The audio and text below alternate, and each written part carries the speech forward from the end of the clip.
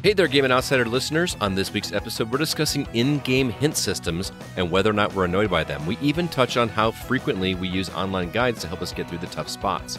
You'll also hear my impressions of Evil West, which has you fighting vampires in the Old West. This is the Gaming Outsider.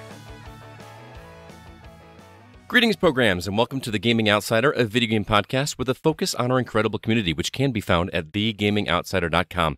It is Sunday, November 27th. I'm your host, Scott Clark, and joining me are my good friends, Mr. Zack Parkerson. What's up? What's up, man? And Miss Alyssa White. How you doing? I am okay, but looking at myself through this webcam, I look a little bit dead, so forgive me. no one else can see me besides you guys. You do not look dead to me. You look just fine, Melissa. You were cutting yourself short.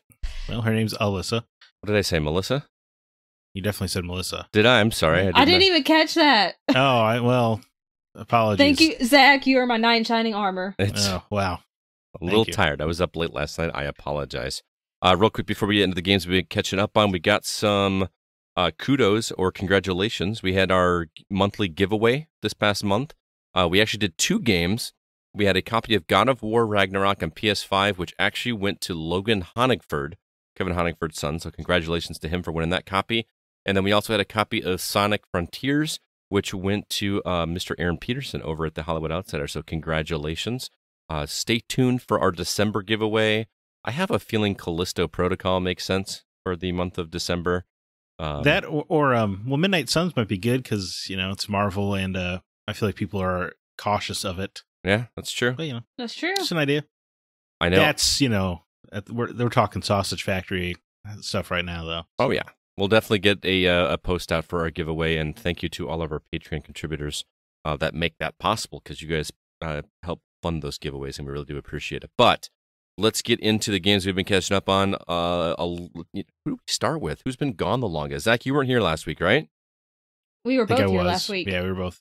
This is the same, same crew. I know you're tired, Scott. I am tired. Let's ladies first. It was first. supposed Alyssa, to be CB this week, but I am not CB. I am sorry to disappoint everyone listening. I would hope by now you would know this is not CB. Nobody's disappointed, Alyssa. They all like you better. definitely. I don't know about that. I'm sure CB has a group of fans just like Zack does. Oh yeah, like three of them. Uh, Alyssa, so what games have you been catching up on? Well, I did play Somerville on Game Pass, Mhm. and it was a really unique, um, just kind of puzzle adventure game. Very short, a little under four hours, and I had a good time with it. It definitely reminded me of Inside, but it's not as good.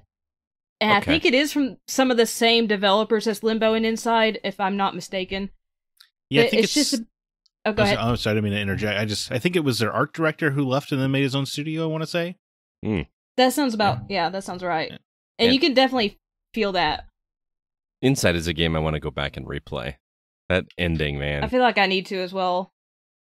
I feel like I need to because I didn't like it that much. oh, really? But I love Limbo. I've played Limbo a hundred times. Limbo was great. I liked Limbo a lot better, but Yeah. the ending of of uh, that that that last like I don't know, fifteen minutes of Inside was was yeah. nuts. See, I thought oh, I I thought that was the worst part, but that's fine. I, it's just so unexpected what happens at the end of Yeah. that. But Somerville is along that same kind of vein, like two D puzzle solving. Yeah. I've heard good things about it, but I didn't realize that's what it was. Yeah, it's basically about a family. You play mostly as the dad, sometimes as the kid. And it's a mom, dad, kid, dog. Uh aliens just out of nowhere start attacking the earth. And you as the dad get separated from your family, but when the dad wakes up from the house falling in, he has electrical powers. But the dog's with him too, and one thing that made me disappoint me so much, you can't pet the dog. I'm Oh, like, he was such a good boy too. They weren't I going for the pet him. easy Twitter marketing, huh? I know, no, you can't pet the dog. Uh, But you're doing a lot of the same stuff you do, like in Inside. It's not like hard, but a couple of puzzles trick me up. I will say, if you do not like ambiguous endings, Oh. this game is not for you. You know, I, I, I feel like Inside was somewhat of an ambiguous ending, and I still enjoyed that. So That's true. I do think Inside's ending was better than this one, but it still was interesting. And it does, you know, require a little bit of thinking Mhm. when you're playing it, when you're watching it. But it's definitely an interesting game. It was a little bit buggy. I don't know if they've patched it since I've played. I did get stuck twice and have to like shut my game down and go back in because I was just stuck in the environment. Oh, But other than that, I a mean, long time. You can't even like I know. reload I a was like, checkpoint. oh, I feel like that's like no checkpoints. every game now. Like you, oh, reload checkpoint if you get stuck, and then I just go back to wherever I left off. But that wasn't here, huh? Not when I played it. I just had to exit out of the game and go back in. Interesting. All right. Somerville. I uh, may have to add that one to my list as well because I, I I love those kinds of games. But anything else you've been catching up on? I also started Vampire Survivors, Yes. which I know Zack has been continuing to play that this week as well. And Yeah. just like Zack, the first couple of runs, I'm like, okay, what what the hell did Scott tell me to play? but I kept playing because I'm like, okay, I'm gonna keep playing to see if it gets better. And I did about six runs. I, I was in a limited time space. But like starting at the third run, I started to get it Mhm. and I started to be like, oh, I need to do this and this and this. I unlocked. I don't know if there's more than four characters in this game total. oh, there's a lot more. I un- okay, I've I've unlocked four characters, and I almost survived to 15 minutes. I made it to 1446 and died, and I was like, no, I had 14 seconds left. now, have But- you have you st- what have you learned so far? You know, in terms of how the game works mechanically, what have you uncovered? Uh, I've learned if you shoot one those statues, you can get some chicken that will replenish your health. Yep, floor chicken. yeah, floor chicken, or it provides you coins, and then you can use the coins to um get uh, uh weapons upgrades. And then I haven't learned too much apparently, Okay, but I've done a little bit. but Zack, you know why I'm being vague, right? Well, yeah, but I mean, the revelations start coming fast. I think after Yeah. you once you make your first realization, I guess they they start coming quicker. Yeah. There, that you've got some fun, exciting things coming up that uh, that that really change the way the game works. And don't and don't get excited. It's nothing story related. It's not like there's any. Yeah. There's no story in this game. It's just there's some mechanical stuff that, um, the discovery is very fun. It's really cool. Zack, how how's yours? How's your runs going? I did my first full thirty minutes yesterday. Yeah. Woo! where it just automatically kills you at 30 minute mark i guess Mhm. which uh you know it was quite a Oh, I didn't know I was, that. I was so sad um but I mean, that's Yeah, how you I'm- beat the I'm- level. It's like now done. Oh, okay. yeah they just murder you um but i think i have, i think i have four levels unlocked and i think about 10 characters um yeah i mean dude i've been i've been playing vampire survivors uh most uh evenings Yeah. it's good i've been playing it with my uh, with my partner it's a great couples game it turns out vampire survivors passing the controller after death and all that Mm-hmm. you know scott i know your wife loves games so you might want to invite her but oh uh yeah. um, it's just yeah, you get more and more uh, mechanics revealed, right? And it's cool. I guess I don't want to give it away, but you know, you get an item that kind of gives you more direction in your runs. Yep. And so I made a pretty major revelation there and unlocked a, a new character, and it looked like I got this guy who's got like dual revolvers that he starts out with. It's yeah, it's a wild, it's a wild ride. Um, but it, it does uh, it does feel good when you, especially because you struggle so much in the game. So when you finally get a, a build together where you're just like, I guess I could just stand still and everyone dies. Yeah, It you, feels you pretty can good. get builds that do Yeah. that. I've a bunch of our community has posted on Facebook videos of them playing it. There's the controller sitting there, and everything converging on them and just wiping them Yeah. out, eating them away like like you know a knife through That's butter. what I did. Uh, last night, my my last three minutes of my of my run on Mad Forest, the first map. I uh, I just put down the controller for the last three minutes, and nothing, and it felt so good. Doesn't it? Which is just a silly feeling about like, ah, now that I don't have to play, now that I yeah. don't really have to do anything, it feels great. But you feel like you But earned it. It's just Yeah, really- well, really especially cool. because it's such a hard. It can be such a hard game, you know. Well, So just it, like uh, how much the game changes from the beginning, where there's like two or three enemies on the screen, and then you're you're you're taking out hundreds of them at a time Right. in seconds. It's just like I don't know if I you mean, guys the- noticed, the- but it actually counts how many kills you've got each round, Oh yeah, I've noticed. and it easily gets into the ten and twenty thousands on on good runs. Right. It's just great. I mean, at the 11 minute mark on the first level, 300 skeletons come at you at once. It's absurd. oh yeah, and then that just becomes the norm. like you're just like, Right, oh, no yeah. big, no big deal now. That's MD, brah. So good. Who's your Who's your main character, Scott? Um, what's his name? He's the guy that starts with the knives. Um, Oh, okay, interesting. the name is escaping me, but uh, he's my go-to. But uh, I really don't like the the the character you start with, and I think they do that on purpose. The guy that has the whip, because Yeah, the Oh, whip is such a frustrating weapon, especially when it's under leveled because it doesn't. It only goes in one direction. Once you get it to go in two directions, it's a little bit better. But you know, not being able to attack up or down is just maddening to start out with. So, yeah. um, but man, when you get that Yo, dude, thing garlic. up. Garlic is overpowered. That's my big tip. Garlic Oh, yeah. is absurd. hmm Puts like a little shield around you that anything it touches just you know destroys or attacks. I mean, everything has hit points, so it's not you know one hit kill. Right. Well, it, kills a lot of enemies in one hit, but if it, but it also like knocks people back. Yep. Yep. You know, gives you some breathing room. It's good. It's good stuff. Yeah. And again, when when you start seeing what else those weapons do, it just gets glorious, and it just gets deeper and deeper. Like there's there's so much stuff to unlock. I don't know how many achievements you guys have, but like my first run, I unlocked 14 achievements, and I was like, man, that was pretty cool. And I looked it up. There's 140 of them. I'm like, all right, I'm a tenth of the way through the game. Um, but just like there's little things you get rewarded for, whether it be, um, you know, new evolutions or you get new characters or it just it it, it just expands and, in spider webs in such a much more complex game than I ever expected the game to when I first looked at screenshots. So glad you guys are enjoying it. I was so worried I oversold it, but uh, yeah. Zack, No, I think this is this is an easy like top five game of the year contender, which is absurd. It, it is. I, I like. I I'm so glad everybody played it because it was. It's probably going to be on my list, and I I was gonna thought I was gonna be the only one, but uh, now we just got to convince CB to play it because I feel It's like he's the one that's been most resistant to it. No reason not to with Game Pass. Yeah. It is still it I is know. still weird on my base Xbox One that it takes so long to load Yeah, because it's it's such Yeah, a weird. it's very- you know. Very quick on.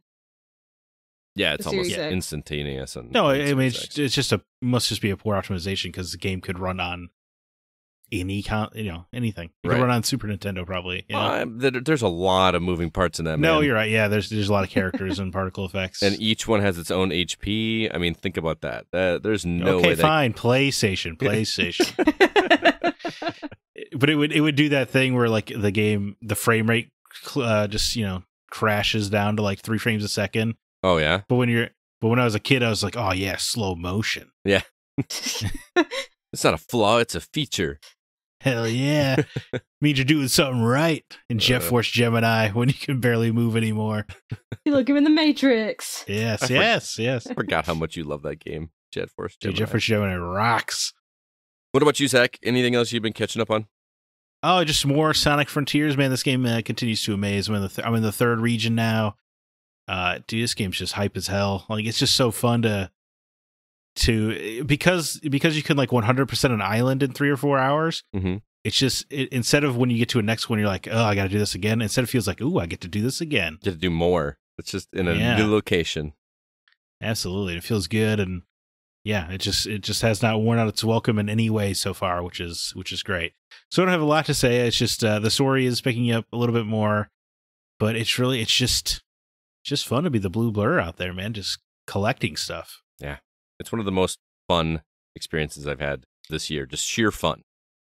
Right? Yeah, just uncomplicated fun. Yeah. The skill tree still like I have maxed out the skill tree because it's just useless, but um, you know, that, such is modern gaming, I suppose. Yeah, at least you still get the ability to, you know, like raise your ring count and raise your speed and all that kind of stuff is Yeah. there. But um apparently the achievements or trophies are really easy to get to. Like you don't even have to max out everything. Like you only need like thirty percent of the collectibles to get the achievement or trophy, which is Well, weird. look, it looks like looks like there's a trophy for maxing each of the four categories. You know, speed, ring, armor, and defense. But you Mhm. can also transfer this, so you really only need to max out one and then just transfer it all to the other one, right? right. Easy Yeah, achievement. it seems seems like a really easy platinum, but it also kind of it's beginning to feel like uh games are making easy platinums as almost a marketing feature. Yeah. I, I think so You know? too. Yeah. It's become a thing where where like uh isn't it Ratalaika games like their games can be completed in like an hour or something like that. I've heard that. people buy them just just for that sheer sake. So it's Yeah, almost well, like the it's- or- achievements have become diluted. What I was also thinking about, like, you think about Sony's first party games are all such attainable platinums now. hmm These should be harder, you know. Like, was it like a significant percentage of people got the Spider Man platinum because it's just it's really easy to do so. Well, plus it's super fun just to go back. You just want to keep playing that game. yeah, I'm not I'm not discounting that it's fun. I'm just saying that I feel like the easy platinum is almost like a marketing move these days. That's Yeah. all. Yeah. You know, I'm not. But then like, I- think back to like good. Gears of War. Remember the achievements on those games? Like Yeah, it was absurd. Of course.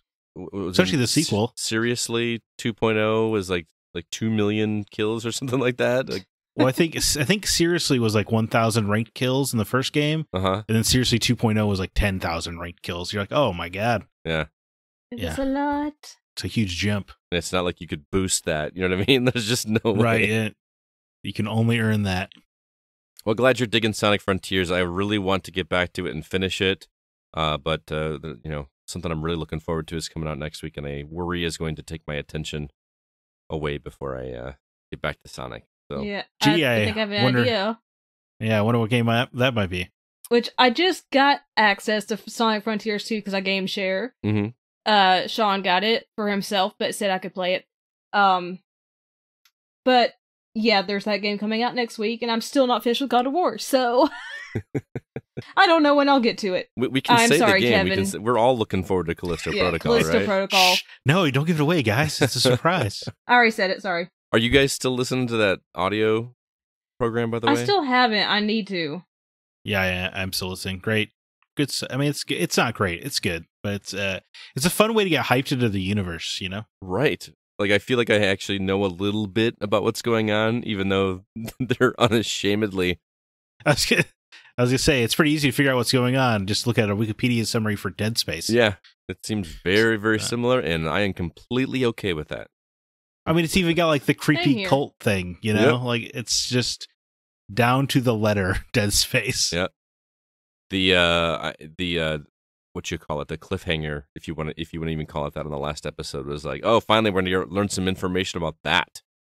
It was really cool. Yeah. So if you guys, I, I know I mentioned it on the show a couple weeks ago, but if you were not listening to Helix Station, highly recommend checking that out.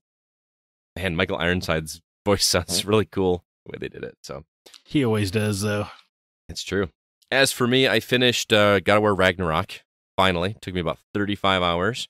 Um, my review is up on the site if you guys are interested in learning more about it. Did you read it, Zack?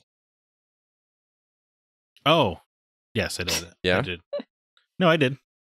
Uh, it's funny. I read yours after writing mine, just to like, like we had a lot of the same things to say. I was, yeah, I was, I was saying the same thing when I was reading it. Yeah, whenever you wrote it, but I was like, oh man, this sure does sound similar. yeah.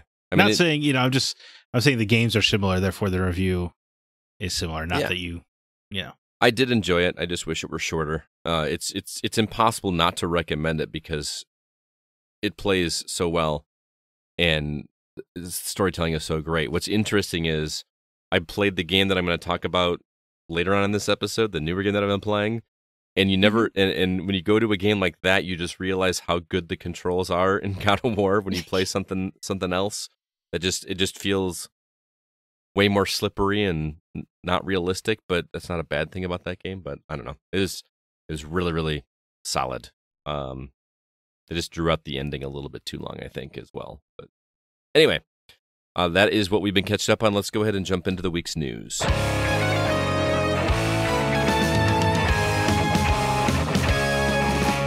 Speaking of Callisto Protocol, some gamers are upset about its season pass. I'm sure we'll talk about that. Microsoft is getting some resistance regarding their Activision acquisition, and we do have some new deals that have emerged about the Splinter Cell remake, and Dead Island 2 is delayed again. Alyssa, which story would you like to begin with today? Let's just pull the band aid off and talk about Callisto Protocol All right. and the gamers being upset about the season pass. I don't know if you how much you guys read into this, but I really kind of think this is silly. Um, It is I feel like silly. people are getting mad about something that doesn't even exist yet. So, so here's what happened: the game listed on Steam this past week with a deluxe edition that costs an extra 20 bucks. That edition includes a season pass, skins, game modes, story DLC, and 13 extra death animations. We all know how death animations are are very much looked forward to in games like this. Uh, fans are upset, basically saying that the full game is being paywalled. So there are parts of the game that are being being paywalled on for DLC. Uh, Director Glenn Schofield clarified that nothing is being held back, and that anything provided in the season pass hasn't been developed yet. So like they're they're not holding anything back. They haven't made it yet. Uh, he also said that the extra content has started production due to fan feedback saying they wanted more death animations. So they're actually doing, giving the fans what they wanted. You know what they a- what they've But asked the fans for. are like, but we don't want to pay twenty dollars for it. yeah, so you want us to do all this extra work, but you don't want to pay for it, and I don't feel sorry for. I'm sorry, I don't feel sorry for you in that case. I mean, it's also that price on consoles as well, an additional twenty dollars for that version. I mean, here's the thing: if they had just released DLC, like new story DLC, and never even Mhm. mentioned that there was going to be new death animations, people would have been just Probably completely fine yeah. paying the extra DLC or the season pass for more content to the game, right? But the thing they're upset about is death animations. just, I don't know. I'm frustrated by gamers. Yeah, I mean, it's just we we live in a world where people pay for color shading on their outfits in games. You know, like Yeah. what i- what is That's it? true. A death animation's more work than that. Uh, I Yeah. think. I mean, yeah, I think I think paying for death animations is silly, but I think getting uh, two game modes and a story DLC for twenty bucks feels like a good value, Mm-hmm. especially in today's world. You know, so you know, throw in some death animation. Sure, I don't care. I mean, I would never pay a dollar for a death animation, but I, you better believe if they charge a dollar per death animation, people would eat it up because Yep. people, uh, Oh yeah. p- gamers, be stupid with that money. Yep. It's also so absurd. It is kind of crazy. I mean, look how much money people spend on cosmetics on on uh, Fortnite and stuff like that. Like, Oh, right? yeah. It was it was like forty five dollars to get Goku and Vegeta in Fortnite when they, when they had that Dragon Ball Z promo. Yeah, like it's That's insane. you know like it's people people pay uh left and right for this kind of stuff. Like it's just it is unfortunately the market we have allowed. Yeah. I wish it wasn't. Horse armor be damned. remember how, how much was that horse armor, by the way? I think it was five bucks. five Uh, dollars. yeah, I think it was five dollars. and now we're complaining about paying twenty dollars for Which which is an insane amount of money for horse armor, by the way. yeah, for sure. But in but in a modern video game, feels kind of quaint. right? Like that's it. That's all you're charging. Yeah. Oh, only five bucks for a horse armor. Sweet. So yeah, So, I, I I don't know. Sometimes I hear stories like this, and I just wonder how much of this was fabricated behind closed doors to get people talking about the game in some fashion. You know what I mean? I know that's like conspiracy theory sounding a little bit, uh huh. but there's some part of me that believes, you know what? If we just like cook up this thing, it'll get people talking about it and get people saying Callisto Protocol more. Like, Now, I guess I guess Glenn Schofield is a guy who used to uh, run Visceral Games, which Mhm. famously had the uh, Dante's Inferno marketing, where they paid people to be upset about it. I don't remember that. How did that go? I don't either. Oh, you don't remember? It was uh, they were protesters outside of E3 saying Dante's Inferno. You, you know, the developers should rot in hell and stuff. But then it, all those people were like had SAG cards. SAG Because, cards, uh, Screen Actors They were act. They were Yeah. actors. Yeah. Okay. They, so they got oh, they got paid to protest. Or if you remember that uh, that Dead Space Two marketing where they showed a bunch of grandmas Dead Space Two, and got them all upset. So yeah, I mean, hey, this would be in the guy's wheelhouse, is what I'm saying. I think your tinfoil hat might be warranted, my friend. okay. Yeah, see? I, I mean, and this one would be easier to get away with if they actually did kind of fabricate this. So, you know, what if we just and like usually did this? publicity. Yeah. Publicity draws attention and sales. There's no such thing as bad news, right? Isn't that the old, the old adage? Especially when you're a new IP from a new studio, yeah, you probably Right. need all the press you can get. Exactly. I mean, between that and you got the audio series, which you said they did with Dead Space too, right? Did- Oh, I don't know. I thought you had mentioned something like it reminded th- you. well, of them. Dead- Dead- well, Dead Space they used to do all kinds of stuff. They would do animated Oh, yeah. movies and books and comics books, and they had like a yeah, they had like an animated uh, web series on the Microsoft Store. I remember. Oh, there They- was an I, there was a iOS game too. Yeah, there was a yeah, there was a whole little prequel on iOS. Mm-hmm. There was that weird uh, puzzle game, Dead Space Ignition, that took place in between one and 2 Mm-hmm.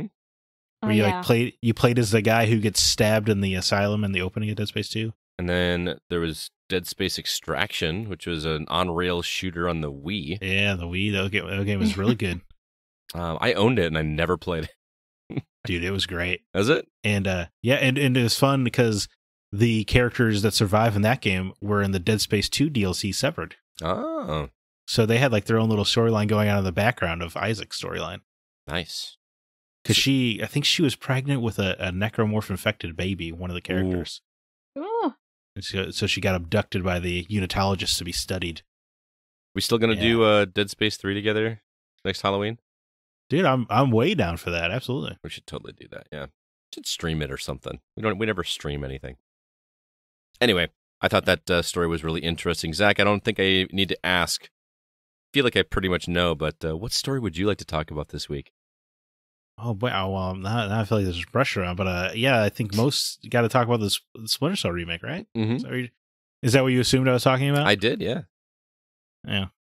They uh, yeah they posted a big old well not a big old but they posted a little 20th anniversary celebration video on YouTube Ubisoft for for Splinter Cell and they kind of went into Splinter Cell the remake on this. Um, what do they say? The experience will be identical to the 2002 title, but it wants to implement improvements and features introduced in later Splinter Cell titles, as well as smooth some rough edges. For example, the team wants to give players more opportunities to de-escalate situations when things go awry instead of getting an instant game over. So it's not Uh, going to the be game- identical. That's what you're saying. yeah, it doesn't sound at all identical to me. you know, because that first game is especially was pretty rudimentary. I mean, it's great. Don't get me wrong, but it's uh, you know, there's there's not a lot of complexity to the first one, um, other than you can shoot out the lights, which is always cool. hmm Uh, the game is still in early prototype phase. Um, it'll be a while before we hear about it. Uh, you know, no no release date or platform or anything. No mention of Michael Ironside uh, as of yet. That's a good point. I mean, can they use the original files, like the original voice like recordings? Well, you think you could, but I feel like a bunch of video game developers and programmers are going to want the, the greatest technical fidelity they can manage, of Mhm. course. So reusing the old audio, be like, oh, this doesn't sound good enough.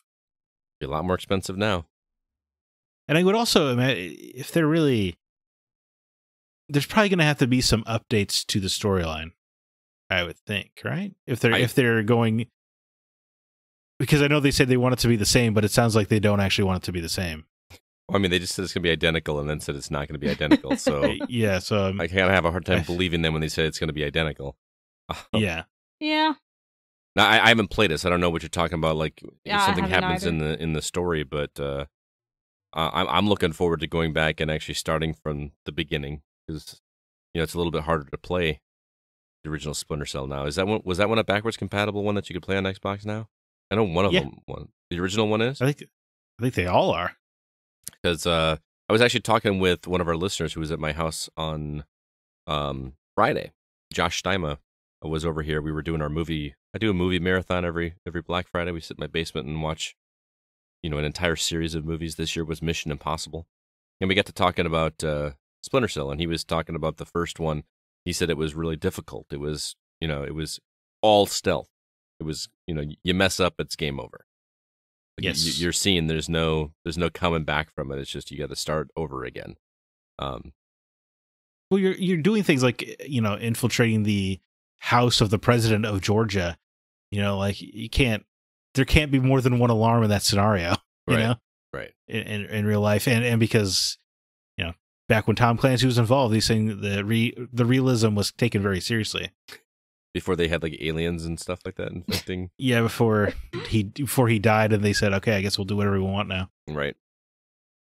But yeah, that's gonna be a long, long ways away. But I'm sure it'll I'm sure it'll still somehow arrive before the Sands of Time remake. yeah, actually, Ubisoft is making remaking a bunch of titles, aren't they? Yeah, they all seem to be in some kind of weird hell. Yeah, they got a lot of drama. there's no there's no reason there's no reason a Splinter Cell remake should take this long to make. You'd think, but I mean, are they doing it to the level that you know they did the Resident Evil games? I mean, if they're making it identical, you know, it's not like they're they're doing what they did with Resident Evil Sure. and Dead Space, right? It's identical but not identical. Right. It's identical. uh, We're only changing everything you can do in the game, but otherwise it's identical. You know, the core fundamental gameplay of the game is different, Right. But it's uh, it's exactly the same. We still have the lead character named Sam Fisher. Yeah, there you go. What do you think? What do you think the odds are of Michael Ironside, or do you think they use this as a as a chance to recast? Well, I was going to say, didn't they recast in later games? Wasn't he like Kiefer Sutherland? There was one game I believe they were they recast. no, no, no. It was Kiefer different Sutherland was was uh, Solid Metal Gear Solid. Metal Gear. Yeah. Yeah, no, I there was think- one. Eric Splinter- Johnson was the voice actor that replaced him. Yes, the quarterback from Smallville was Sam Fisher in uh, Splinter Cell Blacklist. How it was did really he do? weird. Poorly. Yeah. But that's uh, to be expected. Those are impossible shoes to fill. I mean, he was also he was also, also not great generally, like for Mm. the role, because he acted he he moved and acted like a thirty year old, Oh, yeah. which is weird when Sam Fisher is late fifties by that point. So who would be your like uh, your dream recasting then if you had to put somebody else in the place of Michael Ironside, I wouldn't. I would. I I always thought that you should just you should put Sam Fisher in charge of Third Echelon and introduce a new spy. Ah, and he could be your voice in the ear, and that you can transition to a new generation that way. Yeah, but if they're remaking the original, that's probably not gonna. No, I understand that. I'm just saying, like, you should not recast that character. okay. Much, much like you should not recast Indiana Jones. Oh yeah. Sometimes, sometimes it's just too interconnected. But maybe, maybe there'll be some actor out there I don't even know of, and they'll just knock it out of the park. You know, I know Tom Hardy is attached to play Sam Fisher in the movie. That'll never get made. I can never- see that. Maybe if he did his American accent. Yeah, it's just Mhm. you gotta have that gravelly Right. voice to it. You know. Yeah, totally. I know they're about to put out a book where Sarah Fisher is a Splinter Cell. Ugh. Anyway, I don't know the character, but uh anyway. last thing I'll mention is that Dead Island 2 being delayed again. I know we always have talk about delays, but this this game is just delay after delay after delay. I know. like I keep forgetting that this game e- is even coming, but I'm also I, I also wasn't a fan of the original, so that probably helped. It was originally planned for February 3rd. It's now set for April, uh, so not too much of a delay. But uh, here's the quote from the development team: "So we have some important news to share. So let's rip that band-aid off straight away. We are delaying Dead Island 2. The new release date will be April 28th, 2023. The not, the irony of delaying Dead Island is not lost on us, and we are as disappointed as you undoubtedly are. The delay is just 12 short weeks, and development is on the final straight now. We're going to take the time we need to make sure we can launch a game we're proud to launch. For those of us, or excuse me, for those of you who've been waiting for years, thank you for hanging in there for us. In the meantime, we will be releasing an exciting new trailer and gameplay at the Dead Island 2 showcase, which will premiere on December 6th uh, on our Twitch and YouTube channels, as well as on the Dead Island website. I can't remember. Are either of you Dead Island fans? No. I had fun with the first one, but I wasn't in love with it. Mhm. And I I, played a little bit of Riptide, but I didn't finish it. I was amongst that that large cadre of people who bought it because of the trailer the trailer Yeah, was the great. trailer was eh? amazing. and then played the game and it was nothing like that trailer. Not even like the tone wasn't even the same. Yeah, it was almost comical in nature. Well, yeah, it opens up with "Who Do You Voodoo?" I don't remember yeah, that. TCH. That It's funny. song. It can't it, it gets stuck in your head for years. At least if you're me. Me too.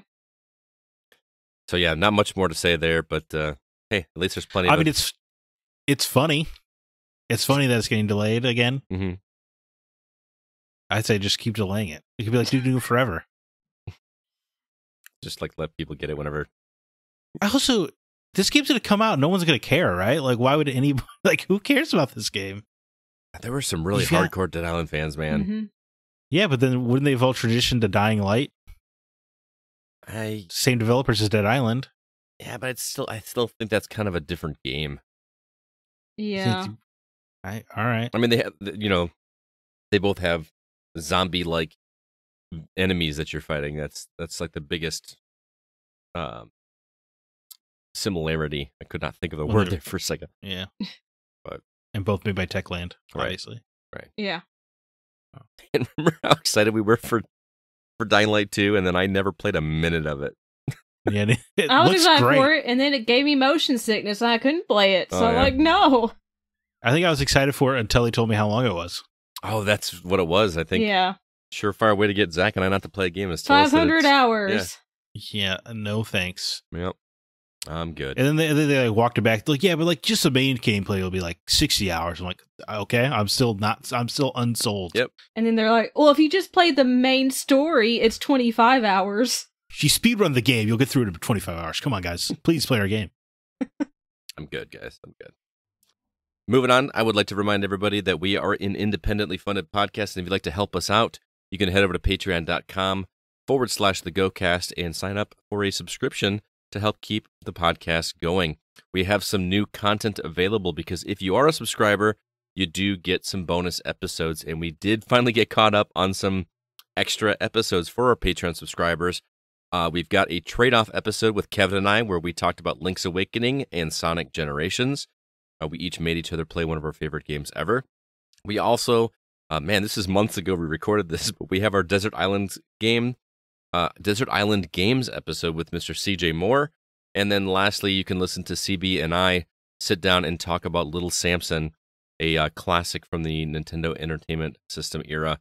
You won't want to miss that one because, uh, man, I spent a lot of money on that game. If you want to know how much I spent on that game, be sure to listen to the episode. We've also got some extra ones coming up. Uh, Grant Henry is going to be joining us for a Desert Island Games episode. Been looking forward to that. And also, uh, we're going to be doing a beginner's guide to D and D episode with our DM himself, Mr. Kevin Hangeford. He's agreed to come talk to us. And if you've ever been interested in doing D and D, but uh, been kind of intimidated by it, or maybe curious, want to know exactly what it means, he's going to help get you started, just like he got me started because I never played it before until I met him. So, and then lastly, we're going to do a games that aren't for us episode. Not sure what CB has cooking, but um, he's going to be making me play something. He's been threatening that for quite a while, so stay tuned for that. Again, if any of those episodes or any of our past episodes sound interesting, uh, be sure to uh, go over to patreon.com forward slash the GoCast. And I got to give a shout out to Mr. Tim Paulin. He signed up for a $3 per month episode or $3 per month subscription. And also Mr. Paul Hine this week uh, got tired of his name being missed by one one spot on the giveaways, uh, bumped his pledge from $3 per month to $10 per month. So uh, fingers crossed for you, man. He really wants to win one of those games. So I uh, really appreciate it. Let's go ahead now and jump into the new games that we've been playing.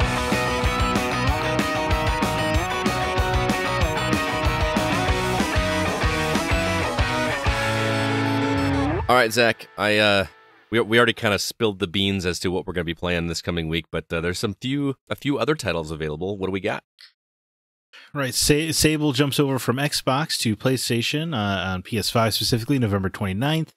Last Days of Lazarus makes its way to PS5 November 29th. Soccer Story, so I think that's made by Americans, uh, coming to PS5, PS4, Xbox Series consoles, Xbox One, and Switch, as well as PC November 29th. The Knight Witch comes to PS5, PS4, Xbox Series consoles, Xbox One, Switch, and PC November 29th. Front Mission First Remake comes to Switch November 30th. That is one half of the Front Mission remix coming to Switch. Gundam Evolution is on PS5, PS4, Xbox Series consoles, and Xbox One as of November 30th.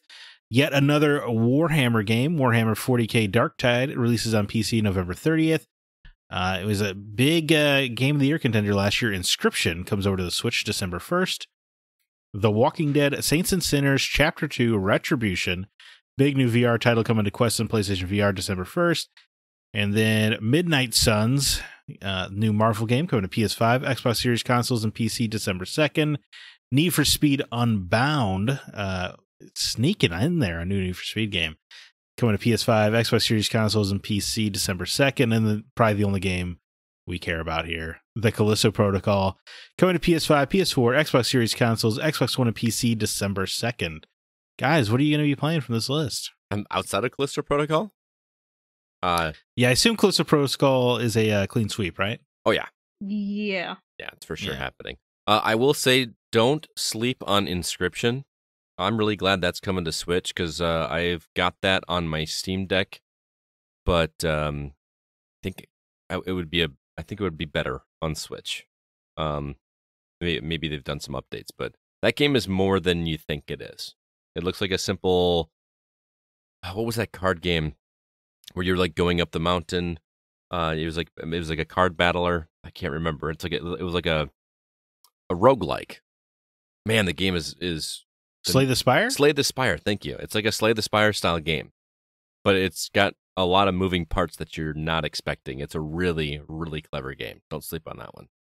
Yeah, I only I only played like twenty minutes of it, Mhm. but I wouldn't I wouldn't even I wouldn't put Slay the Spire in the same conversation at all. It's really it's more it's more like an inner it's more like a puzzle game or a story game. It just happens to start with cards Oh, you've played Inscryption? a little bit. Yeah. Oh, okay. I I did not I've been realize interested in it, but I just I'm not good at games with cards, so I- I've Yeah. just been. Don't let that deter you because, like Zack said, that's not really what the game's about. It's okay. It, there, there's a it, that's kind of what it looks like in the marketing is that it's you know that kind of game, but there's hmm there's some interesting surprises that go on in that game. So It's uh uh, it's not similar in content, but similar in what it's trying to do as uh, Doki Doki Literature Club. okay, there you go. Like it- Still haven't played that, and I know I need to. It's I- more I know I would more love than it. the I know. pitch. Yeah. It's great. I love it. Yeah.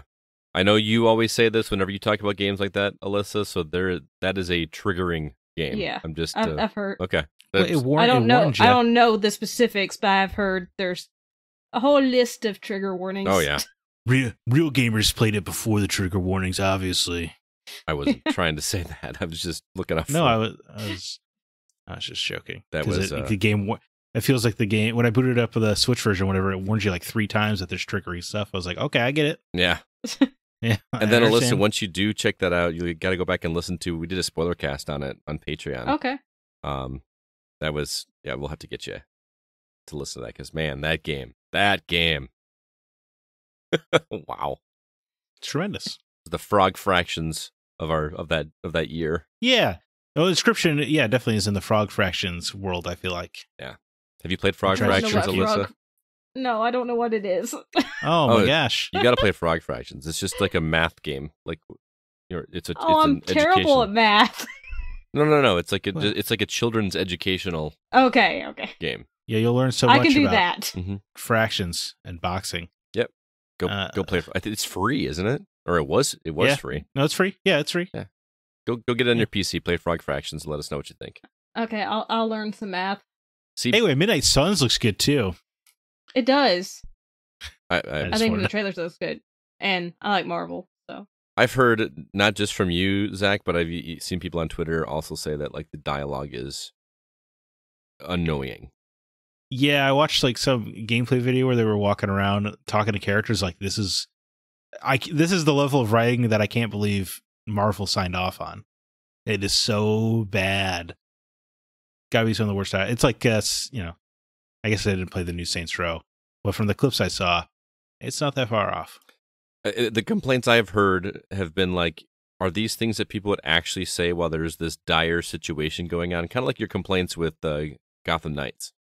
Like, are you going to be giving each Yeah. other wet willies and stuff? Like, while this is Right? going? Yeah, that, that was absurd. It, or like one of the scenes I saw was Blade complaining about how vampires are represented in movies. I was like, first of all, Blade doesn't even seem like the kind of guy who'd be watching movies, yeah. Let let alone complaining about how vampires are depicted in them. Let alone there's an apocalypse almost happening outside, Mhm. so he's gonna be just eating some popcorn, talking. About, it's a, it's absurd. Yeah, I hear you. Anyway, you you've been uh, speaking of the apocalypse, my man. What about the old west, the evil west? Evil West, Zack, is a game that you have to play as soon as humanly possible. It's got that real seventh generation energy, the real PS3 360 energy to it. That's the exact way to put it, dude. I felt like I was playing again. Remember how I said I was I came from God of War, and then jumped into mm-hmm. this. I felt like I was going back in an, generationally, like control wise. And I don't mean that to sound disparaging about this game because it's great. This game is awesome, but it's not great in. It, it's it's great because it's trying to come across as an Xbox 360 or PS3 game. You know what I mean? Like down to Yeah. just the ridiculous um, story that's going on, the um, slippery controls that just make you feel like you're you're you're playing an older game. Um, was it David did a review for us on a game called Trifox that was he said it felt like a love letter to PS2 games. This is that only only one generation ahead. It it feels like that. You've got a big burly character main character uh Retinier, I believe is how you say it. Jesse Yeah, I think that's what I heard in the trailer. Renier. Jesse Renier, Retinier. Um it, it just looks like a Gears of War dude in the old west. It really does. this game is ridiculous. Your your sidekick is an African American character with with dreadlocks, like like spiky dreadlocks that come out and an eye patch. Um, at one point, you're in the old west, and the level that I just finished recently, it was in a frozen wasteland. Frozen, Hell yeah. like. Is it? Does it get frozen in the old west? I, I like just Well, the, when I never demons are pictured it. involved, Uh, but y- yeah, you were basically trying to get rid of all of the you're you're you're fighting a war against vampires. They call them ticks in this game. So like Oh, it's like the Lovely. slang that they use for like, oh, we got this nest of ticks we gotta go take care of and all this kind of stuff. It's like it's it's so good, dude. It's just I mean, redonkulous. it makes sense. it's got that uh Gears of War energy, man. It does. It does. And uh, the con- the game though itself, the gameplay is a lot harder than I was expecting it to be because if you see the trailer, it looks like it's going to be a Gears kind of thing where you can just kind of mow down all the enemies and everything. But uh, you really have to do a good balance of um, melee combat and um, firearms or ranged weapons. You can't just you can kind of kite the characters around and just keep firing at them, but it'll take you a really long time. So you might as well just learn how to do it. Um, but the combat is there's there's just so many moving parts, but it never feels so overwhelming. You know how I complained about God of War Ragnarok that I had all these extra moves that I just never felt like I had to use or never really felt a need to learn because I just got comfortable with the moves I was doing. Uh, this one, you kind of have to learn those things because certain moves work better on certain enemies, and um, you know once you start earning extra abilities, it really makes things a lot easier instead of just getting some dumb combo that looks really cool. These are actually helpful here, if that makes sense. Um, the combat, like I said, it primarily is melee based. You've got like this giant um, gauntlet that you wear on your right arm that he punches with that has electricity coursing through it that the vampires are allergic to or something like that. Did uh did Hmm. Tesla make it for you? Um, I have not met Tesla, no, but there in, in one of the early chapters, you're you're you're seeing a demonstration by a scientist that is developing some new technology, and there's clearly a Tesla coil in the background that is like that is you know doing this demonstration. It's it's great. It's just yeah. I mean, that'd be cool if you met Nikola Tesla. It Ah, feels like the kind of story that would shoehorn in Nikola Tesla. it's great, dude. But I mean, the story is redonkulous, but still super interesting. Like you're, um, like when one of the opening chapters, I don't. I mean, can I tell you some of the stuff that happens in this, or is that considered spoilery? I don't. I uh, uh, I don't know. I, I guess. Will the audience? I guess skip ahead a minute, right? I, I mean, uh, it's just it's just part of the main story. You, you're in the opening chapters. You're chasing after one certain vampire. Um, you take him out, behead him. You're carrying around his head. You actually bring it into like the main guy's office, the uh, the leader's office, and just like chuck it on his desk, and uh, rolls over and sits up like in front of him. You know what I mean?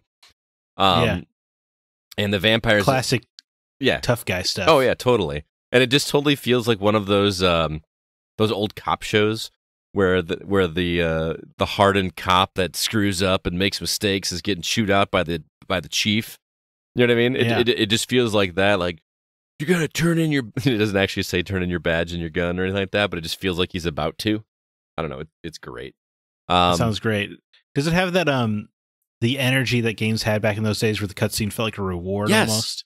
Like like, Yes, the, yeah. like that's awesome. and and like when a cutscene comes up, they're long enough that I can just kind of sit set the controller down and just kind of enjoy it for a little bit. And Yeah. just the dialogue is so over the top.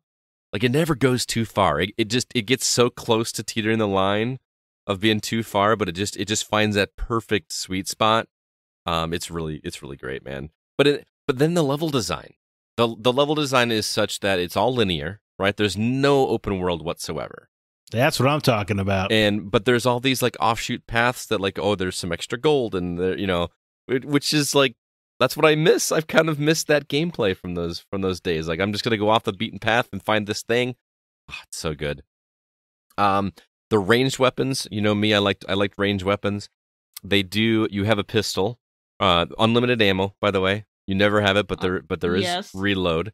Um, the the pistol you can actually shoot from the hip, uh, you, or you could just rapid fire, so it actually feels like a short burst machine gun instead of a instead of a um a six shooter, which is great. Yeah, you've got a rifle. Um, the rifle has a mechanic where if another character is shooting at you, um, it brings up a little flashing yellow circle, and if you shoot that, that's their weak point, and it actually does more damage, and it also prevents them from from attacking you ranged. You've got that going on. Like I said, there's so many different moving parts going on. Um, it's almost overwhelming.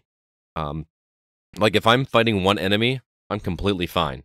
But then they start throwing ads at me, and it just becomes I have to manage all of these guys at one time, and I have to figure out a way to lasso this guy over to me to electrically punch him, and and then roll out of the way, and and then you know kind of bring them all around in a circle. Wait for this gauge to fill up so I can electrically pound the ground and make them all you know uh, stutter for a second.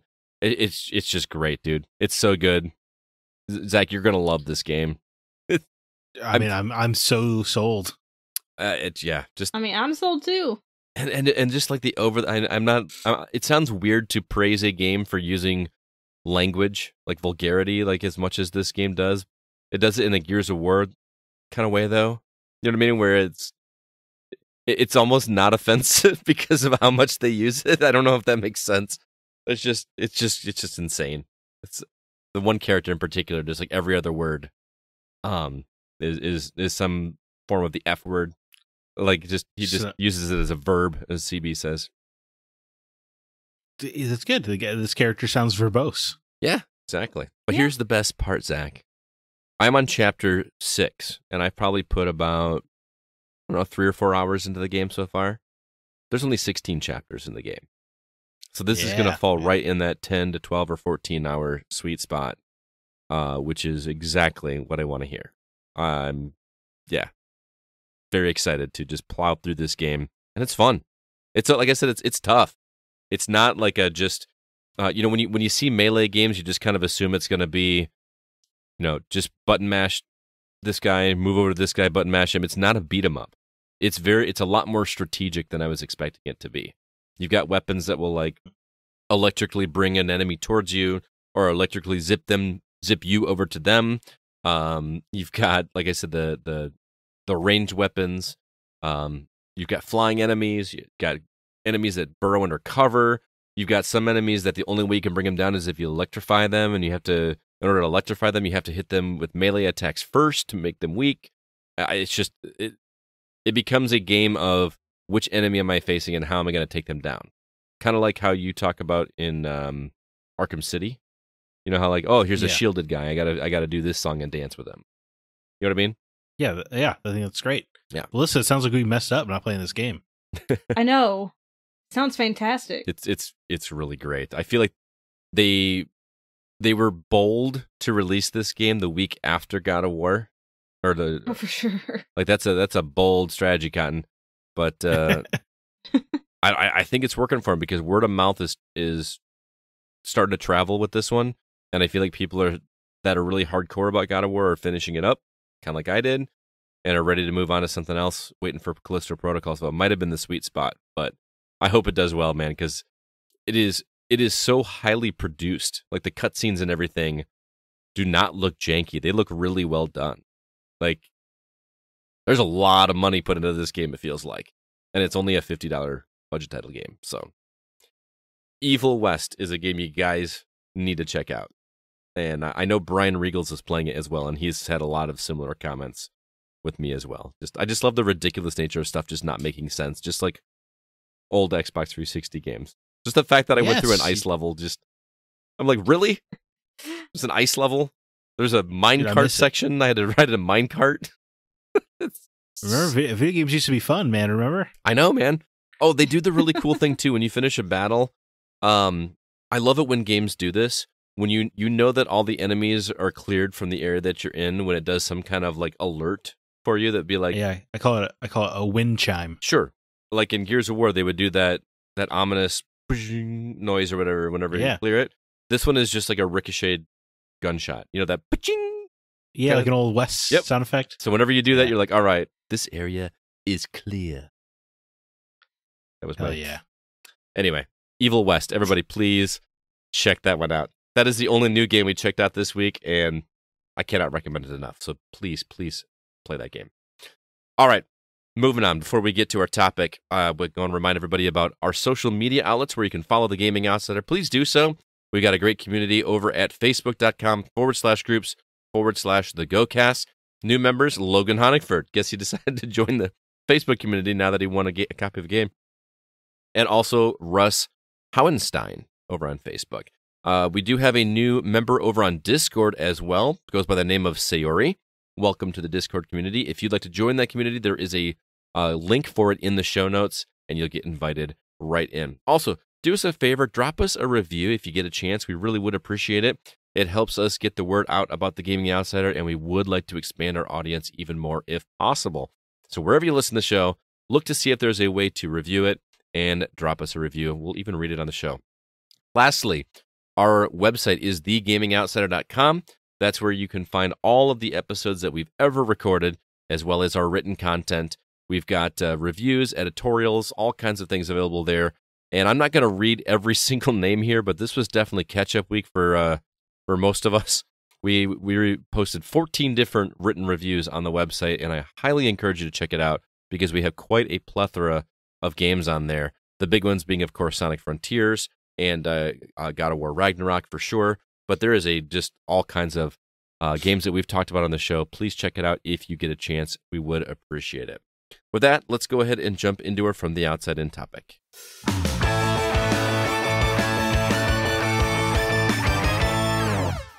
The recent release of God of War Ragnarok has quite a few people complaining about the NPCs giving too many hints too early while playing. Zack actually came up with this idea. He thought it would be a good idea to discuss in game hints and even whether or not we looked up gameplay hints online when we play other games. So I know Zack hasn't played Ragnarok yet, so I'll start with Alyssa. Alyssa, were you bothered by the game coaxing you along to solve some of those puzzles? I know that this is a big thing people complained about. Doesn't really bother me because I usually have trouble with puzzles, Mhm. and if I get stuck, I'm like, please tell me what to do. Now, there's been a couple times where I know what to do, like, say, I need to throw my axe at a red pot to make an explosion happen, and as soon as I look at the red pot, Atreus is like, Dad, you should throw something at that pot and make it explode. I'm like, I know, I know, Atreus. but other times I'm looking around trying to figure out how I'm supposed to progress, and he's like, maybe we should throw the axe at so and so. I'm like, thank you, child. Thank you. So you're so a, sometimes, sometimes you're annoyed, sometimes it's a blessing for you. yeah. Uh, I, I know what you mean. I, I I felt like with God of War Ragnarok, I did notice that it happened so quickly. I mean, I would barely get a chance to like get a lay of the land, and somebody is trying to give me a hint. Uh, it's it's it was kind of crazy. Um, I was surprised they didn't let you adjust that. You know what I mean? Yeah, there's a lot of accessibility options, but not for hints. Right. Like I know some people just want to be told nothing. Um, it seems like something that would be pretty easy to, to shut off. I don't know. The the thing that bugged me wasn't even necessarily a hint thing, but I I hate it when games do that where characters will talk to you, like basically chastise you for going off the beaten path to look for collectibles or tre- hidden treasures and stuff. I I'm like, know. you put it in Like, here for me to me. find it. Stop yelling at me. Like the characters in God of War Ragnarok will actually be like, "Oh, I guess you're pretty thorough, huh? Oh, I guess we could do the main. We could do this main thing we're we're gonna do a little bit later, huh?" Or I don't know. It's just like what you're giving me a hard time for exploring the game you guys made. I don't know. It just drives me crazy. Yeah, I don't have the Ragnarok experience, but dude, that drives me nuts in video games when you, or like it happens in Uncharted. I want to say too, where like you go and explore, like, "Hey man, get over here. We gotta get this door down," or something like that. You know, like like a Call of Duty or whatever. I'm like, guys, you made the game. I'm just playing it. Right. Why would why would you as a developer have the characters berate me for exploring your game that you want me to explore theoretically? Yeah. You know, I feel like I'm giving being given a hard time for playing the game. I mean, I I understand it from a realism standpoint because if you were in that situation and there's somebody standing over by the door being like, "Hey, help me move this door," and you're like, "Give me a minute. I'm gonna go like explore this like this hallway really quick." Like, Right, but in a realism situation, people wouldn't be recording their scientific thoughts into a tape recorder anyway. So yeah, yeah. the fact that I'm going to look for one doesn't seem that absurd. That's that's a good point. But I it drives me crazy when games yell at me for playing the game that you designed this way. I just I hate that. Right. It's frustrating. Uh, do you guys feel like modern games give too much help, generally speaking? And I'm kind of curious what you prefer: no help, a little help, or lots of help. Yo, well, you know, I, I loved Elden Ring, right? I, you know, I'm not a. I want as little help as possible, or you know, to me, the, it feels like the easy solution was already figured out by Shadow of the Tomb Raider, where before you started playing the game, it you had a different. It had a combat difficulty slider, a puzzle difficulty slider, and a traversal difficulty slider, hmm and you could customize it. And if you went to hard on the puzzles, you didn't get any hints at all. Right.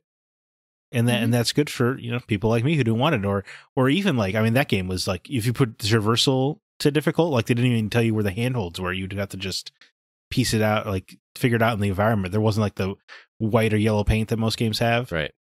you know like and that's so that's so cool and uh, when i heard all the people complaining about god of war it was just surprising to me because sony prides itself on its uh accessibility features right you know that's part of the sales pitch for the Last of Us part one remake is hey we we'll, we'll let uh disabled people play our game now that you give us $70 but uh the so it's the games are so adjustable it's weird that god of war doesn't have one that's like hey i don't need the hints from the npcs Right.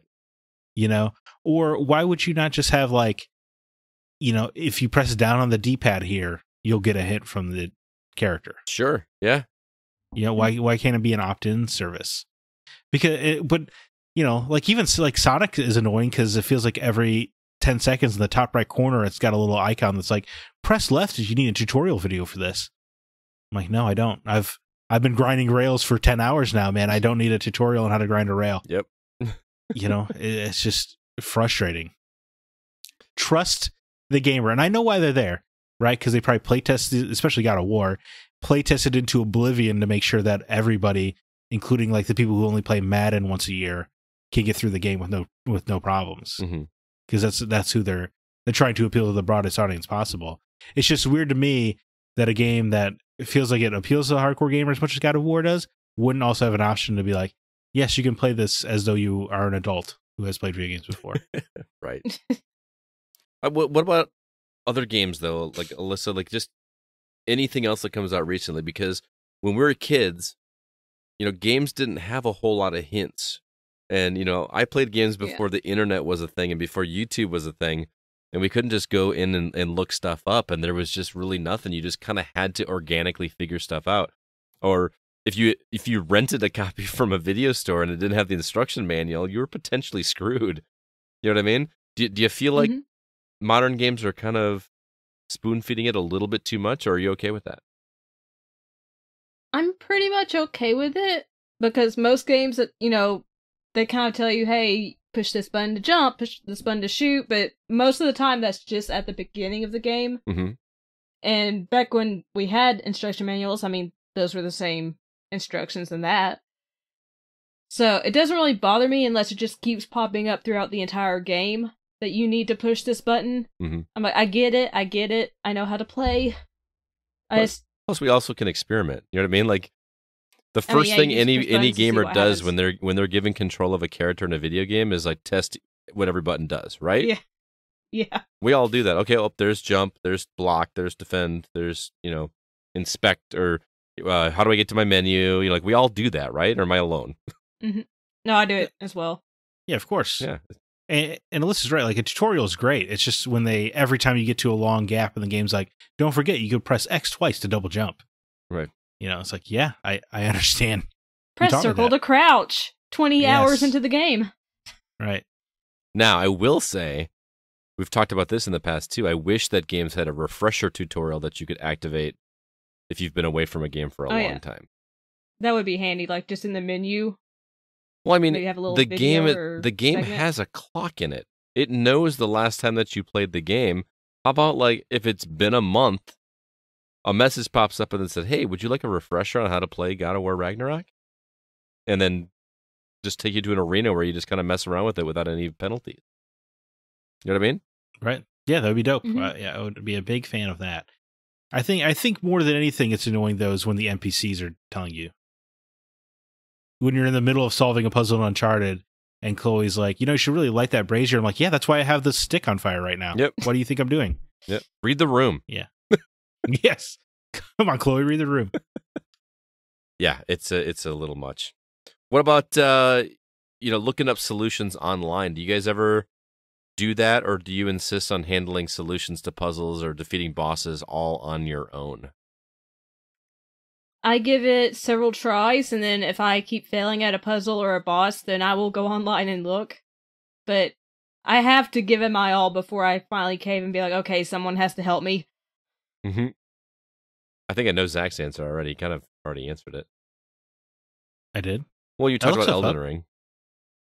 Yeah, well, uh, well, I did- you know it it depends. I'm not going to look things up until usually I'm trophy hunting myself. Mm.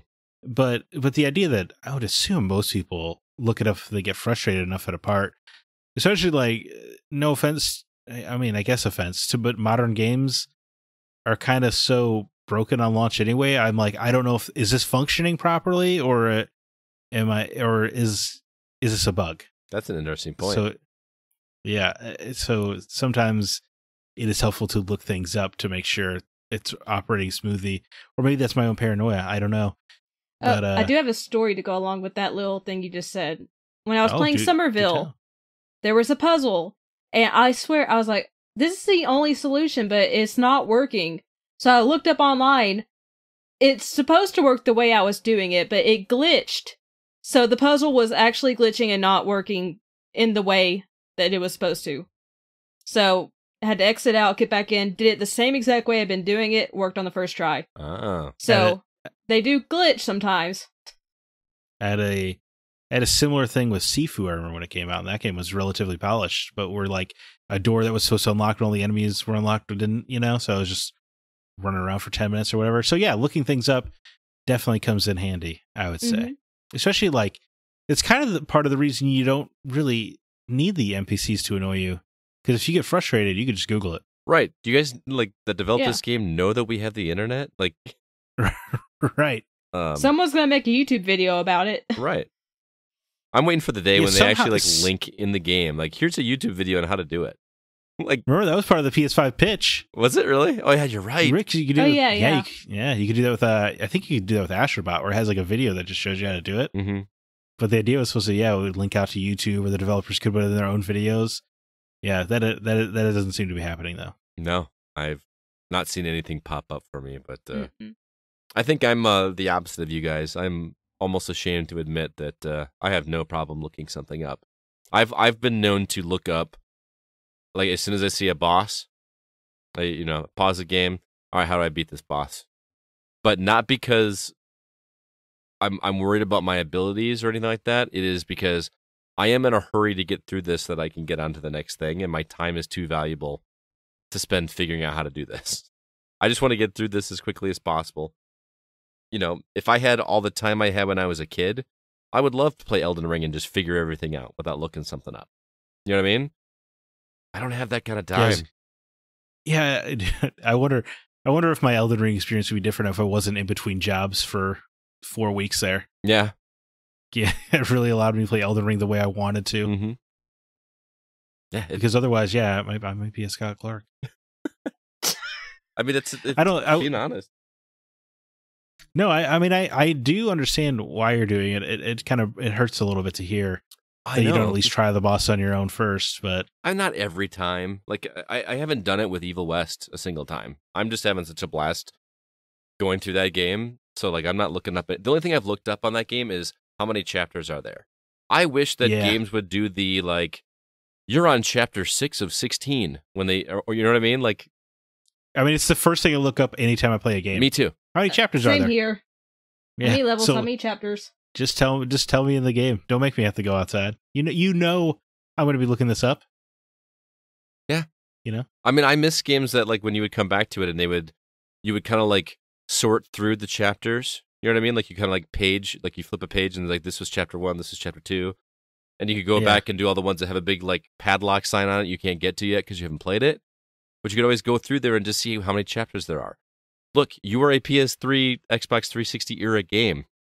They did that in that era. You should have done That's that if you were going to do that in this game. And I just wish more games did that. Well, you know, it wouldn't have a skill tree if it was true to the era. Yeah. Well, you know what? I should have mentioned this when we when we talked about that game. That skill tree, though, it is frustrating, but um, you also do naturally get new upgrades, just like through progression of the story that significantly alter the way you play. Whoa! So Now there, there's a novel concept in Yeah. 2022. yeah, so there Mhm. there is that, but the skill tree stuff in Evil West is actually most of it is things that actually benefit you. It's not like a plus whatever to armor or something like that. It's like right. oh, um, you know, your six shooter now fires seven bullets instead of six instead of six. You know, or Mhm. If you hit a um, your rifle has four shots in it, so if you hit a um weak spot, then it doesn't cost a bullet. You get that bullet back. You know what I mean? It's stuff like that that actually helps. So I meant to mention that in there because I knew. I think I sent you a screenshot of of that skill tree when I first got to it, and I was like, man, because you're like, there's no getting away from it. yeah. So anyway, back to solutions and stuff online. Uh, the other one you kind of already alluded to, Zack. But if I'm if I'm going for achievements, I have no problem watching a video. Um, I follow this guy. He goes by the name Maka, M A K A. Uh, he does Maka's guides on on YouTube, and he is very efficient about putting videos together to show you how to get the achievements as quickly as possible without, you know, no mess around. Yeah, no, no preamble. I mean, he's uh, he does a little bit, but it's very very. It's not like mash that like button. Don't forget to Yeah, no, I- subscribe. I hate when it's when you look up for like where a collectible is, and it almost does a thing when you look up a recipe where it gives you like a life story first. Like, oh my god! yeah, you know, I first started just playing Mortal know. Kombat when I was 15 years old. My dad, but anyway, we, you know, and, and I know people here for the fatality, but you know, I've got such a history with fatalities. I just got to tell you about it real quick. Like, no, no, no, just just show me how to get the trophy, bud. Thanks. Yep. I hate that so much. Recipes are the worst. Why? Why do Yeah, right. people think that I want to know about how you serve this to your friends? I mean, I think it's just got to be so they can squeeze an ad, extra ad or two in, right? But They gotta get that word so count annoying. up to for SEO, right?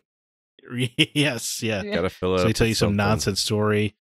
You know, once I served cranberry to my family, but I accidentally used a glass dish instead of my ceramic. It was a total snafu.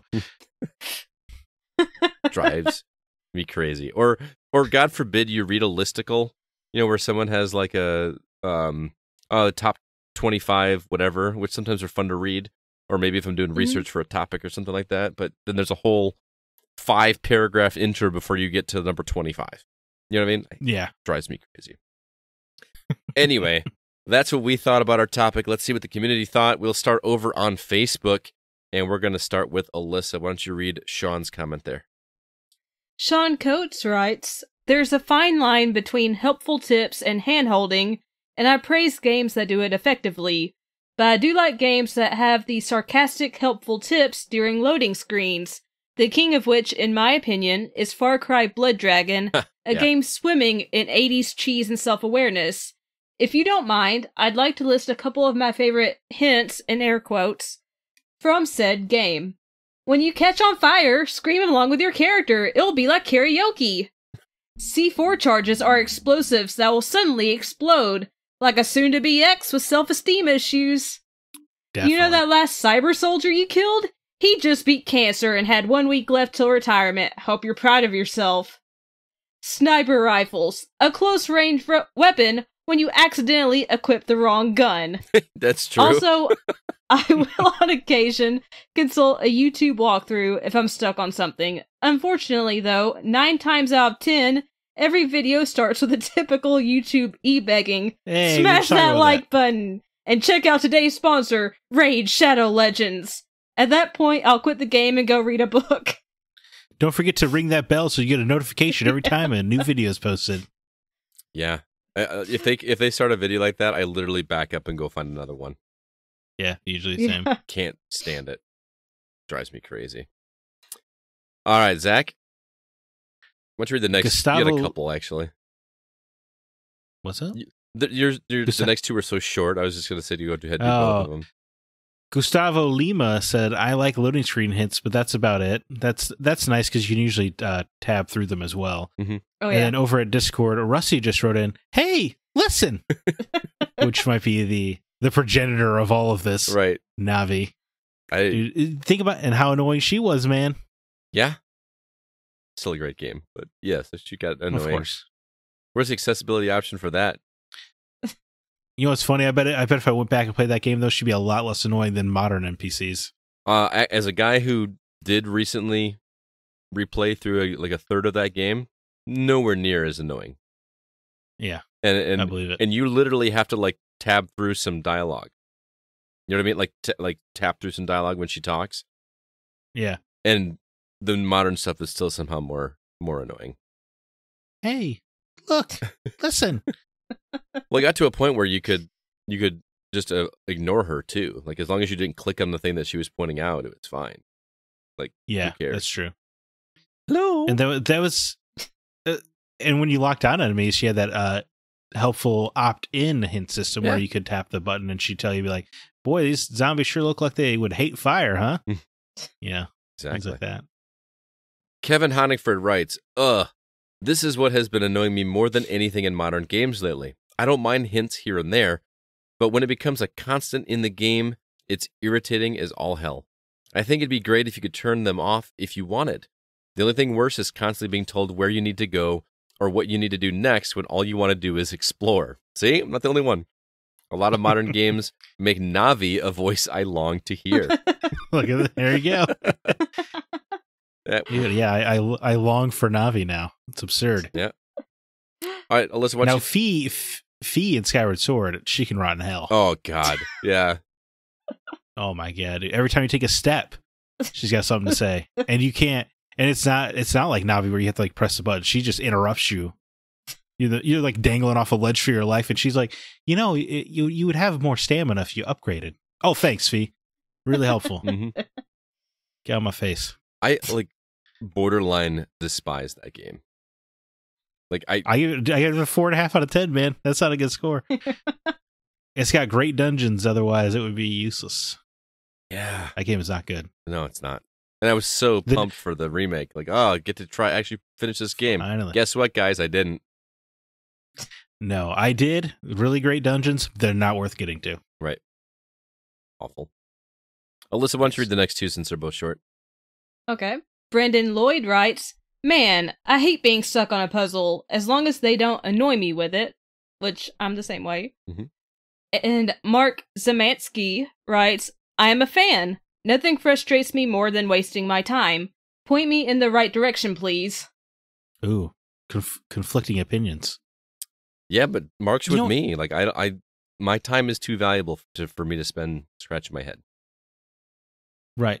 Well, you know, if you have clever level design, you shouldn't need the characters to tell you which direction to go anyway. I agree. You know, um, I was uh, the the being stuck on puzzles thing that Brandon points out.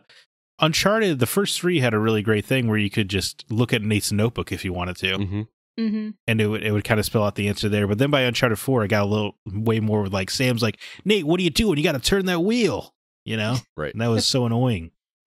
Yeah, let me figure it out, man. I mean, Yes, or or you already had the clever the clever fix for puzzles in the first three games where the the notebook had the answer mhm. if you wanted it. if you wanted yeah, it, gave the option right there on the spot. So frustrating. I agree. CJ Moore writes in, I think the amount of help available should depend on the target demographic for the game. The Dark Souls community doesn't want handholding, and people unfamiliar with the mechanics probably won't enjoy or get very far in it. Making walkthroughs optional is important to me. And certainly don't give me the opportunity to decline a tutorial, then give me a rundown anyway when I decline it. I'm looking at you, Pokemon Gold Mom, with your Pokedex phone and your daylight savings. Dude, I do hate. Oh, I, I, I hadn't thought about this in decades, but I just had a very visceral memory come to the front of Pokemon Gold's tutorials. So they say you want a tutorial, you say no, and they tutorialize you anyway. She's like, "Well, I got to tell you anyway, honey, just so you're safe." Yeah. what? Why did you ask? Why did you ask? Oh, my word! Damn. That, that- I don't know. I had, I'm I'm a kid in the backseat of the car right now. In my mind. I like what he said though about the, the it being a target demographic. Because you, he's right. People that love the Dark Souls games or Elden Ring, like you, don't want any handholding, don't want any hints. Right. But then also look at the sales numbers of Elden Ring, though, right? 13 million copies or whatever. Mm-hmm. There's plenty of people Well, who it seems like Hype is a thing. Can we can we see the trophy? You know, the completion stuff, stats for Elden Ring I'm sure. Yeah, I'm sure. I'm sure it's not as high as Spider Man. because So you're you, referencing you know where Elden Ring was really popular, like really popular, TikTok. And you know how many like dude, every other video for that month or so was was uh Elden Ring. So there are still Elden Ring videos being made yeah, and posted on TikTok. I wouldn't know. and pe- and people are so like, "Oh, I, well, everyone's talking about this. I got to see what the hype is about. I'm going to pick it up." You're definitely. You know what? You're definitely right about that.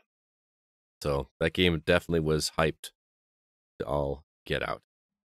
Uh, Green Pal- Palkia, Green Palkia on Discord says, I find it helpful when the game provides tips on how to play when I've stopped playing and came back after a while. Look, yeah, what a novel concept, right? But I find it kind of annoying when when they provide the same tip over and over and over again. Yeah. Press circle to defend. I, I- I've been playing your game for several hours now. I think I'm good. yeah. Yep. All right, we have one more comment. Alyssa. Tim Thane writes, I like hints as long as it's not in your face over and over. I'm looking at you, God of War Ragnarok. I hate when I get frustrated and look something up on IGN or something, and I see how simple it was, then I get mad at myself for being so dumb. Haha. Would much rather have. Which mo. Which. Would much rather have a simple in game hint. Speaking of Ragnarok, they really were so progressive as far as accessibility options. That being said, it's crazy making that one of them wasn't the option to turn hints off. And why does a head attached to my butt looking backwards know what to do before I do, lol? Talking about Mimir. yeah, Mimir. Yeah, Mimir can see everything, even though he's always facing the opposite direction, right? Yeah, I mean, every once in a while, Kratos picks him up and like holds him by the top, we'll and, hold him, yeah. and so he can see everything. But when you're doing a puzzle, he's always facing the way my butt is. Does he? Ha- does he have all seeing eyes like Odin? I don't know. They're, they're glowing. I mean, they, yeah, they glow. I have no idea. That could be. That could be it. Is all I'm saying. I'm saying maybe there's a narrative reason in there somehow. Possibly. I don't know. Just, but yeah, he makes a, a good point. Why can't you turn them off? And apparently, Yeah, that's that, that's the that's just the mystifying part about all this conversation is why is it not optional? Why is there not a slider or something or yeah, why isn't there a toggle? Yeah. For God's sake. All right. Well, that was a fun topic, Zack. You thank you so much for the idea. That uh, it was a it was a good time. Next week, we are going to be talking about uh, games that we wish we could play but are not able to. Uh, multiple reasons why we might not be able to play a game. Maybe it's on a platform we don't have. Uh, maybe it is uh, on a maybe it's an online game that server doesn't exist anymore, or maybe um, it's something that's lost, like uh, what was it, Panzer Dragoon, like you, the original game. That's of that if you want to buy it, it's like eight hundred bucks, and you can't even. Panzer Panzer Dragoon Saga. Right. So maybe it's just Yeah, and they deleted this. not available because it's just it doesn't exist anymore. So, what games do you wish you could play, but for whatever reason you cannot? That's what we'll be talking about next week. So, stay tuned for that. But that's going to do it for this episode of the Gaming Outsider. Thank you so much for listening. Uh, this week's episode of the Gaming Outsider is actually produced by Mr. Kevin Honigford. This is his first time doing a regular episode, so hope you enjoyed it. Also, all the music you hear is written and performed by Grant Henry of Stemage and Metroid Metal. His website, as always, is stemagemusic.com. Please be sure to email us if you have any questions or concerns. Our address is feedback at thegamingoutsider.com. Zack, do you have any parting words before we get out of here? Just said I, I finally started watching Andor and it is really good. It feels like uh actual filmmaking, which uh I haven't seen out of a lot of Disney Plus programming so far. Nice. So nice. it feels like it feels like a film, not a product, which is uh shocking in in modern Disney output for me anyway. So uh yeah, I mean I, I, it's it's good so far. I hope it lives up to the hype. I mean, a couple of my friends have said some absurd things about Andor that I can't imagine it living up to, but um, so far we have not had a mention of the Force, a Skywalker, or, or a lightsaber, and that's big points with me. If we can make a whole season without a Skywalker or a lightsaber showing up, my mind would be absolutely blown. Yeah, I'm looking forward to it. I think it's actually on Hulu now. I was I was scrolling through Hulu and I saw it said it's available until December seventh on Hulu. So- So, It, It's like it's a only the first two. I think it's only the first two or three episodes. Though. Oh, okay. oh, But it makes sense because Disney owns Hulu, so why? would Yeah, get a little cross brand promotion going on there. Give them a taste, try to get more people to come over and subscribe to Disney Try- Plus. yeah, get get the bundle, the Hulu Disney bundle. Right. Ah. oh man, you can. Isn't it just silly not having both? I mean, you could be watching this show, and you get here. ESPN as well. hmm Do you think? Do you think maybe does that mean that Andor's not doing very well? I don't know. I I, mean, I hear I hear people I've heard talk- nothing but glowing things Yeah, about it. Same. Well, of course, yes, but we're also on Twitter or the internet. That doesn't really count and for I, real I did hear it's already been renewed for second season. Yeah, well, they announced it as a two season, yeah, twenty four episode show. Yeah, Um, no, I, I, I not obviously online. It's the talk of the town, but that doesn't mean anything really, right. you know. yeah. So I'm just, uh, I'm just curious if that's what that means. Very cool. Because if they're putting it on Hulu, it either means it's doing exceptional or it's doing very poorly, right? That's a good point. it's the only it reason could you- it could go either way. Yeah, That's it's got to be yeah. one of those two extremes. All right, Alyssa, what about you? Any uh, parting words or recommendations? I finally watched an anime that came out way back in 2006, which doesn't feel that long ago, but that was 16 years ago. Called Ergo Proxy. I know a lot of people have already heard about it. I'm just I just got on the bandwagon. It was fantastic. It's very much a sci-fi anime that if you're a fan of things like Blade Runner, Ghost in the Shell, Akira, this will definitely appeal to you. It's one you have to constantly keep your eyes glued to because it's a very complicated story. There's a lot of themes and messages going on, but they also make it fun. There like there's just one episode that is a game show episode with the characters. Hmm. So it goes from being really serious to being silly and then back to serious. But I really like this show. It's done. It was only I think 23 episodes long, but it was really really good. And if you're into sci-fi and that kind of stuff, definitely recommend it. If you haven't already seen it, I am very late to the party on that one. Nice.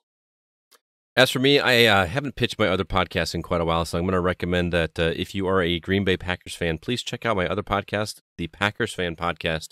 We record the uh, day after every uh, regular season game, so it is PackersFanPod.com. I would love it if you came and checked it out.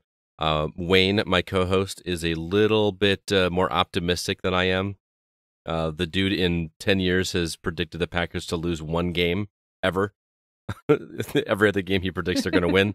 So he's uh he's uh but he's a lot of fun. He's a really good guy. So uh, if you like football in general, or maybe the Green Bay Packers, please check it out. I would appreciate it. Uh, he puts a lot of work into that one as well. All right, Zack, Alyssa, thank you so much as always. Uh, it's it was been a pleasure. Two weeks in a row, same crew. Yeah, Yeah. Oh, we got consistency. I know. Look at that. well, until next week, I'm Scott Clark with Zack Parkerson and Alyssa White, and we are the Gaming Outsider. And remember, there's no such thing as a bad game, just games that aren't for you.